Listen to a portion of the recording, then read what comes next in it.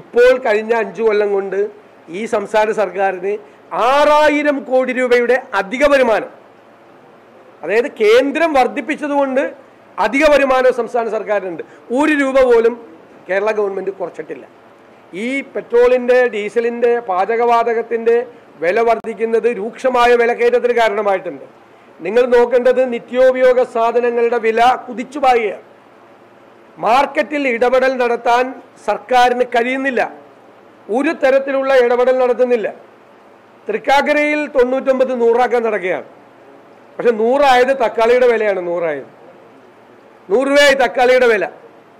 നിങ്ങൾ മനസ്സിലാക്കണം എല്ലാ സാധനങ്ങളുടെയും വില കൂടുകയാണ് ഒരു നിയന്ത്രണവുമില്ല ഊഹ കച്ചവടവും കൃത്രിമമായ വിലക്കയറ്റവും മാർക്കറ്റിലുണ്ടായിട്ട് എന്തിടപെടലാണ് മാർക്കറ്റിൽ ഗവൺമെന്റ് നടത്തിയത്?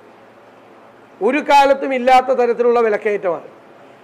ഈ പെട്രോൾ ഡീസൽ പാചകവാതകത്തിന്റെ വില കൂടുമ്പോൾ സ്വാഭാവികമായൊരു വിലക്കയറ്റം ഉണ്ടാവും. അത് ഞാൻ സമ്മതിക്കുന്നു. പക്ഷേ അതിന്റെ പേരിൽ ഊഹത്തിൽ ഊഹ കച്ചവടത്തിന്റെ ഭാഗമായി ഉണ്ടാകുന്ന വിലവർധനവ് കൃത്രിമമായി ഉണ്ടാക്കുന്ന വിലക്കയറ്റം ഇതെല്ലാം മാർക്കറ്റിലുണ്ട്. ജനജീവിതം ദുസ്സഹമായി മാറിയിരിക്കുകയാണ്. ഇടപെടാൻ സർക്കാർ ഒന്നും ചെയ്യുന്നില്ല എന്നുള്ളതാണ് യാഥാർത്ഥ്യം. ഒരു പൈസ ഇല്ല എന്നാണ് പറയുന്നത് സർക്കാരിന്റെ കയ്യിൽ.